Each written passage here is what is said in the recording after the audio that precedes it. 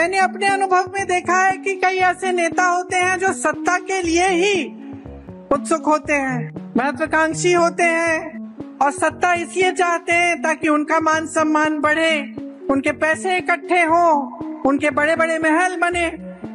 और मैं गर्व से कहती हूँ कि आज छत्तीसगढ़ में जो कांग्रेस पार्टी का नेतृत्व है वह इसी तरह का है। मैंने अपने अनुभव में देखा है कि कई ऐसे नेता होते हैं जो सत्ता के लिए ही उत्सुक होते हैं, महत्वाकांक्षी होते हैं और सत्ता इसलिए चाहते हैं ताकि उनका मान सम्मान बढ़े, उनके पैसे इकट्ठे हो, उनके बड़े बड़े महल बने। वो एक तरह का नेता होता है, लेकिन एक अलग तरह के नेता भी होते हैं। जो सत्ता इसलिए चाहते हैं क्योंकि उस सत्ता के ज़रिए जनता की भलाई कर पाएँगे। और मैं गर्व से कहती हूँ कि आज छत्तीसगढ़ में जो कांग्रेस पार्टी का नेतृत्व है वह इसी तरह का है।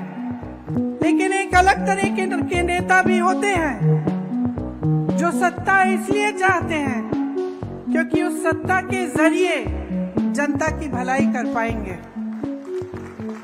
और मैं गर्व से कहती हूँ कि आज छत्तीसगढ़ में जो कांग्रेस पार्टी का नेतृत्व है वह इसी तरह का है।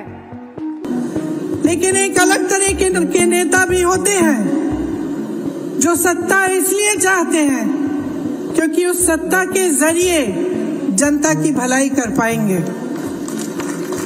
और मैं गर्व से कहती हूँ कि आज छत्तीसगढ़ में जो कांग्रेस पार्टी का नेतृत्व है, वह इसी तरह का है कि सत्ता इसलिए इस्तेमाल करते हैं इस तरह से कि आप सबकी भलाई हो।